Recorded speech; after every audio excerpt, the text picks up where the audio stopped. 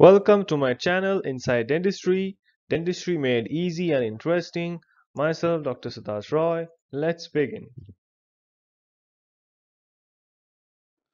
This is the second part of the video of periodontal instruments. So if you haven't seen the first part, do watch the first part first, then watch the second part. Thank you. So in the second part, we are going to study about various types of area-specific curettae such as Gracie curettae, extended shank curettae, mini blade curettae, Langer and mini Langer curettaes. So let's begin.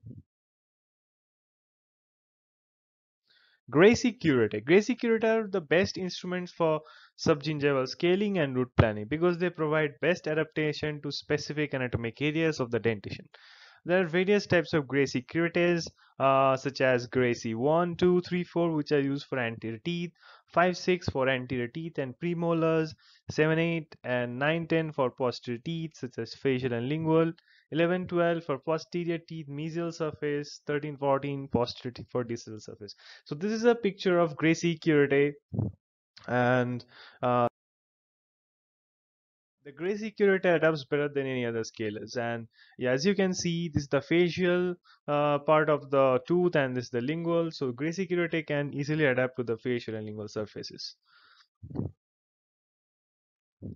And the major difference between Gracie curettae and uh, universal curettae is that the Gracie curettae has uh, only one edge cutting edge. And it usually is used for specific areas but universal curettae uh, has both cutting edges and can be used for uh, most of the areas such as mesial, distal, facial, lingual. And the Gracie curettae are curved in two planes whereas the universal is curved in one plane. And the universal has a 90 degree angle uh, of the blade of the universal uh, is 90 degree angle from the shank and blade of the Gracie is at a 60 degree angle from the shank. So from this picture you can see this is the Gracie curettae and this is universal. So the blade is at a 90 degree angle from the shank and the Gracie it has a 60 degree angle from the shank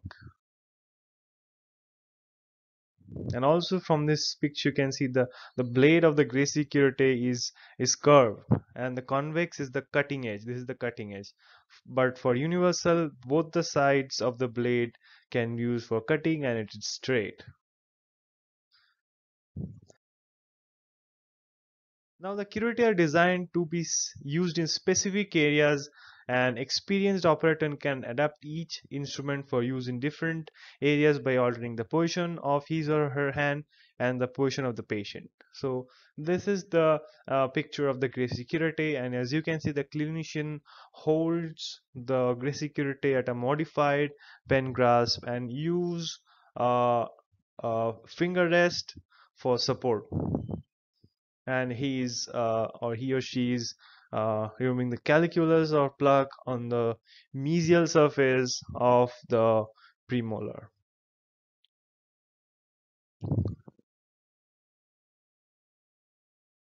So let's uh, study in detail about Gracie curettae a bit more. So this is the Gracie curettae instrument, this is the handle and this is the shank and this is the blade. So the shank has various parts. This is the functional shank, this is terminal shank and this is working end and from this picture you can see this is the cross section this is the terminal shank and this is the working end.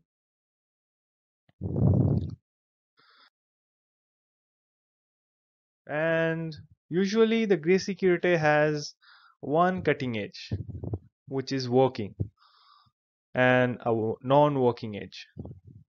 So there are two cutting edges. The working edge is angled lower and is sharp. So the cutting edge is angled lower and it is sharp and the non-cutting edge is angled higher and is blunt for subgingival debridement uh, it is used for above more than 5 mm of depth subgingivally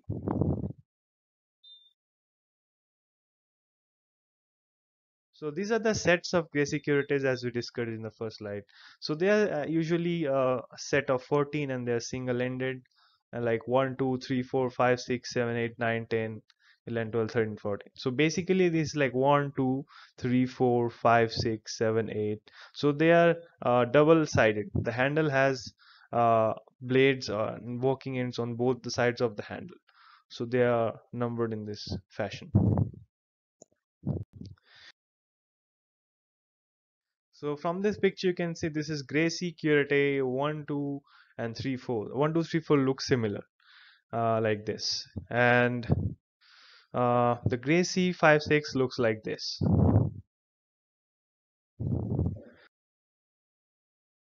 This is the Gracie 7 8 and 9 10 looks like this and Gracie 11 12 and 15 16 looks like this.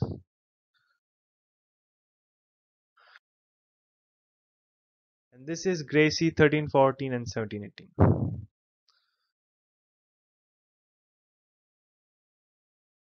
so as we discussed earlier the Gracie has a you know spoon shaped uh, blade and it has one cutting edge and face and a toe and it's like a 60 or 70 degree angle from the shank. And they're used on the specific surfaces. For example Gracie 1 2 is used on the facial surface of the lower anteriors. Gracie 7 8 also used for anteriors 11 12 used for posterior 13 14 interproximal posterior 15 16 interproximal 17 18 again for posterior. So as you can see this is the Gracie curette and this is the angle how the blade is. The cutting edge is lower down and is parallel to the tooth surface. The shank should be parallel to the tooth surface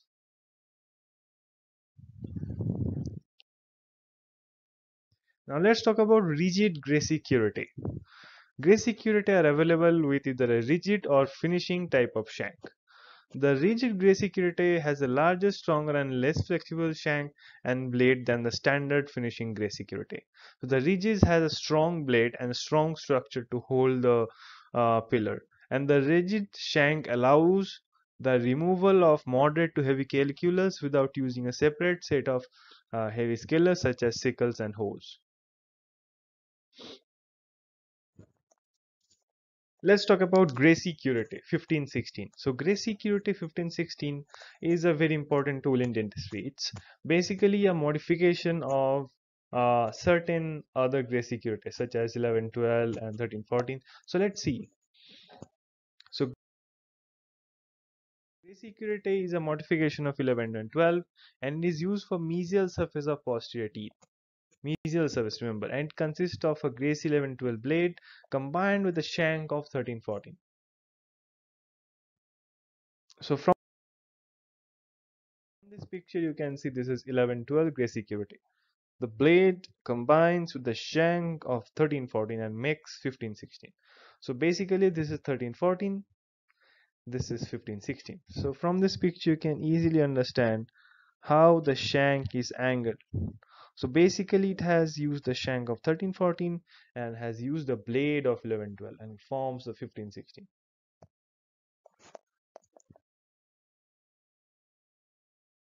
So this is the picture of Gracie 1516 and this is the picture of Gracie 1112.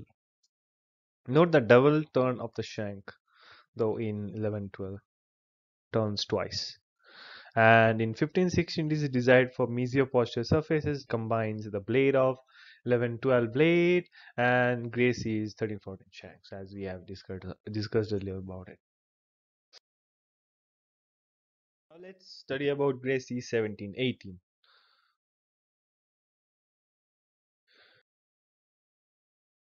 Gracie 1718 is a modification of 1314. So from this picture you can see this is 1718 and this is 1314. It is a terminal shank elongated by 3 mm and more accentuated angulation of the shank to provide complete occlusal clearance and better access to all the posterior distal surfaces. It provides a more relaxed hand position when scaling distal surfaces. In addition, blade is 1 mm shorter to allow better adaptation of the blade to the distal tooth surfaces.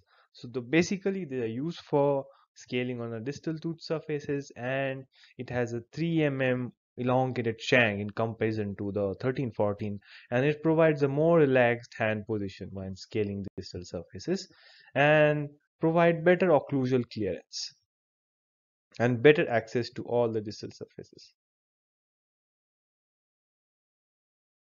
This is the key secret to understand which curettage should be used on which aspect. So the tooth has four aspects, mesial, distal, lingual and facial. Uh, so the Gracie curettages are available in various sets and each sets are used in different uh, aspects.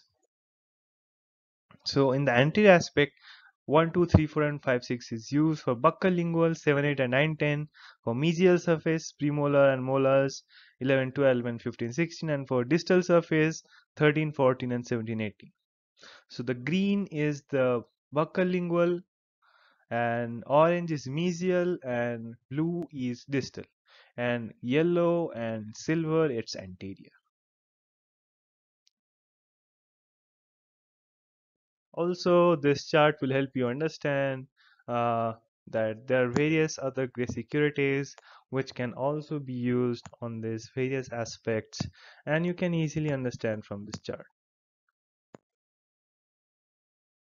Do subscribe my channel. Please press the like button and do comment below for more videos. Thank you.